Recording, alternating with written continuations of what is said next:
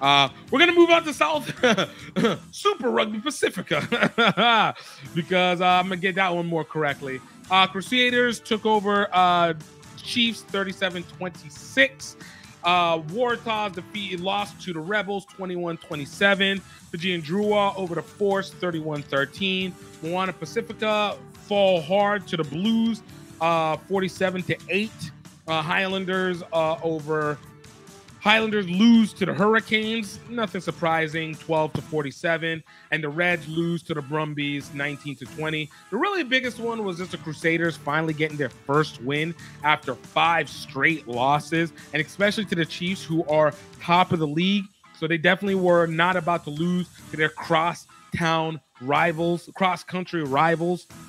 But big shout out to the Crusaders. Uh, hopefully they get back on the track, but I mean, I also wouldn't be surprised if they continue losing. They just look like they wanted to play badly, very, very badly.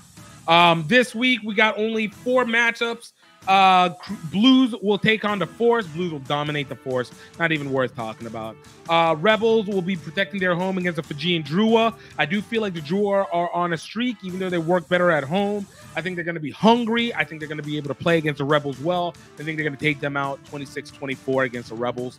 Uh, Moana Pacifica is up against the Chiefs. Chiefs are about to bat them up like they're a punching bag. Moana Pacifica is just just just going to get crushed like the Force. Not even worth talking about.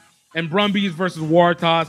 Good game. This is actually probably one of the better games to watch. Uh, I do think the Brumbies are going to win, but this is going to be a tight one. I think it's going to come down to the last second, probably to a uh, either a penalty kick or a drop kick. Look for the Brumbies to win this one 27 25 over the Waratahs. Uh, gonna switch over codes over to NRL because you know I said I'm constantly in the pit mix to be able to change my perceptions of NRL. Of course, unfortunately, we weren't able to have Jason on because he is preparing preparing for Hong Kong Sevens that's happening this weekend. And so, despite the fact that his Broncos finally got another win, 38-12 over the Cowboys, he is not going to be able to be on here to be able to gloat about it. Which means that next week, whenever the Broncos inevitably lose, we're able to bring him on. I will continue to make fun of him because their inconsistency will make me laugh. Uh, Roosters defeated. Uh, Roosters lost to the Panthers, 16 to 22. Panthers continuing to find their pacing bit by bit. Rabbitohs defeat the Bulldogs, 20 to 16. Dragons over Sea Eagles, 20 to 12. Manly Sea Eagles just not able to pick up their pace since Las Vegas. Got a couple wins, but could be a lot better. Two and two for the season. Uh, Titans fall to the Dolphins, 30 to 14. New Zealand Warriors over Knights 20 to 12. It looks like the Knights, the Warriors are getting synchronization. Great plays, great kicking on that one, man. It, it was a tough one, and the Warriors lost a player early on in that game, but man, they were able to get themselves back into play. Uh, Sharks over Raiders 36 22, and Parramatta Eels uh, lose to West Tigers 17 to 16 which I definitely thought the Eels were going to be able to keep that one going. Great game by the West Tigers on that one. Moving forward, because uh, I don't think there's too too much to talk about last week. Moving forward for this week, you got the Broncos taking on the Storm. Uh, that one should be a really really um, significant game because both of these teams really are trying to uh, uh, get a, a, leg up on the other one. Uh, I, I, see this one very, very tightly simply because of the fact that you got the uh, the Storm sitting at number at fifth in the league. Broncos, even though they're at 12th, are still a traditional powerhouse team. I look at the Storm to be able to get the win on this one because they're going to be at home, but Broncos are going to be playing this one hard. Um, Bulldogs uh, taking on the Roosters. Uh, Knights oh, uh, taking on the Dragons. I, these ones I don't know that much about. Unfortunately, I don't have my expertise with me. Rabbitohs over Rabbitohs will be taking on the Warriors at home. I do think the Warriors are going to win this one. Rabbitohs got a really necessary win last week over the Bulldogs, but I don't know if they're going to be able to repeat it. I think the Warriors are catching their their their pacing on that one. Uh, sea Eagles going up against the Panthers. Manly Sea Eagles need this one. Panthers need to protect themselves because even though they have one loss, they're second on the season. But hey, man, you don't want to get losing a losing streak happening, uh, and you don't want to lose momentum as you're starting to gather it. That being said, I think the Panthers are going to end up winning this one over the Sea Eagles. Manly is just struggling.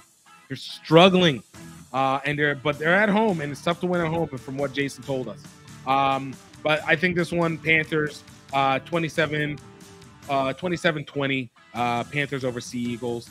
Uh, Dolphins go to West. Uh, Dolphins protect their house against West Tigers. Uh, Cowboys are going up against Titans, and Raiders are going to be going up against the Parramatta Eels. I think the Parramatta Eels are are really going to be looking to get one back after losing last week. Uh, Raiders, tough team, but I think the Eels take this one uh, 14-10 uh, in a close game. Buckwheat is changing lives. My name is Gift Belu. I'm here with Health Enhanced Foods, and I want to tell you about one of my favorite products on our shelves, Buckwheat Baking Mix. Buckwheat is a seed that is incredibly nutrient and protein dense. But what makes it even more important, that buckwheat baking mix is absolutely gluten free. A lot of times, whenever people have buckwheat mixes, they actually even hold wheat inside of it. So you know it's not fully gluten. And if you're a person that is celiac or diabetic, or you're just really trying to be health conscious, it's not something that you want to have to worry about. What makes our buckwheat baking mix even more important is that it is versatile. You can use it for pancakes, you can use it for waffles, you can use it for making loaves of bread, you can make it for cupcakes. But what helps even more is that it is allergen free, it is nut free, it is dairy free, that there is no additional additives in it. There's no leavening there so that if you want to be able to raise your bread, you can put in the baking powder yourself and get it fluffy. If you don't, you absolutely do not have to. You get the bread that you love without the cost to your health. You can absolutely find buckwheat baking mix at healthenhancedfoods.com. Absolutely check it out. Get your nostalgia back. Get back to eating and loving the way that you are and absolutely get back to the energy that you know that you can get without having to destroy yourself. I'm looking forward to seeing you get it. Let's go.